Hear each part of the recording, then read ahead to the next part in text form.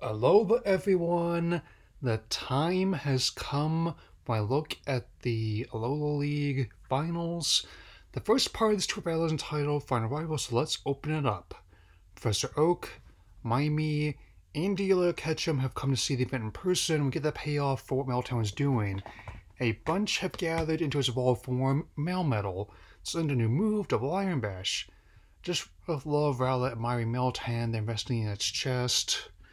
Of the intro sequence, we see Gladion practicing his match tomorrow with as Lusamine and Lillie come to see him. Lusamine also mentions her past with Moon, which will be important later. Hmm. The day has come for the final match. I've been prepping to talk about this ever since I started addressing this anime. Ash and Gladion take the field, and as Team Rocket does a live stream, aim of the match, just put the finishing touch on Elias Mecha. Elsewhere, Beerus and stuff will sense something terrible about to happen, rush off to Manalo Stadium as our Rangaroo robot breaks down. Back at the stadium, the final match will be a 3 vs 3 final battle. Gladion leads Silvally. Ash comes with his newly evolved Melmetal. The match begins. Melmetal charges towards Silvally with double Iron Bash, putting Silvally on the defensive. Silvally counters with Air Slash, but Melmetal is unfazed. Silvally counters with Crush Claw, but Melmetal follows up with Flash Cannon. After that, Silvally starts bobbing, weaving sideways until it lands a Crush Claw attack. Gladion hmm. then adds a Fighting Memory to Silvally, changing it to Fighting type. It lands a multi-attack, but Melmetal is still standing. As two trainers exchange blows, I see an easy advantage this has over the Kalos that Gladion's a far better rival than Lawn ever was. He actually enjoys what he does and is capable of emoting normally, for example. Despite a effort from Melmetal, Silvally wins the first set. The remaining Pokemon counts 3 to 2 as Ash sends out Pikachu next. Pikachu leads a quick attack that follows up with Iron Tail. Spell out takes a Crush Claw and Air Slash, and the battle impresses Faba. Pikachu uses Electro Web that follows a quick attack as a Slingshot into an Iron Tail. That is a good combo as it takes down Silvally. Gladion falls with Dust and Rock, and move on to the next set. Lycanroc leaves with Night Daze. I must say, I do like how the is a bit hit this attack.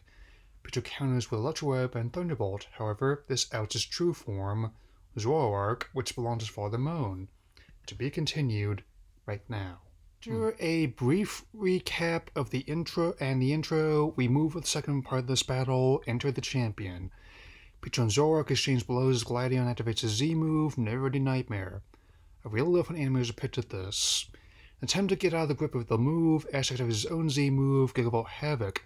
This results in a double KO for Pikachu and Zoroark. Mm. With one Pokemon each in reserve, the two are actually enjoying the final battle. This is a key reason why this league is better than the Kalos League. When that league's finally had a great battle undermining a controversial outcome, this one has a great outcome accompanied by its final battle. But eager to tell you all why since I started this series.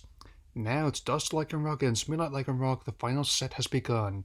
We can flashback everything that's brought them here. The two Lycanroc a lot of a duo of stirring attacks, and I really enjoy the way battle is framed. Accelerock and counterattacks clash, as do Stone Edge and Bite attacks.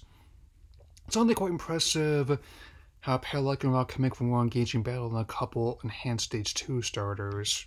Hmm. Case in point.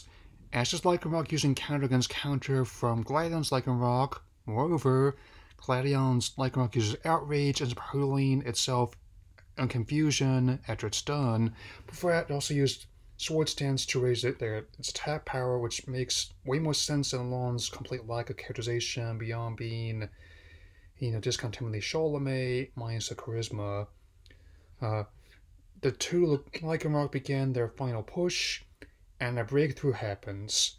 Midnight Lycanroc is slammed into stadium walls, and Ash has won the battle, with Dusk Lycanroc becoming Alola's first champion ever in the process.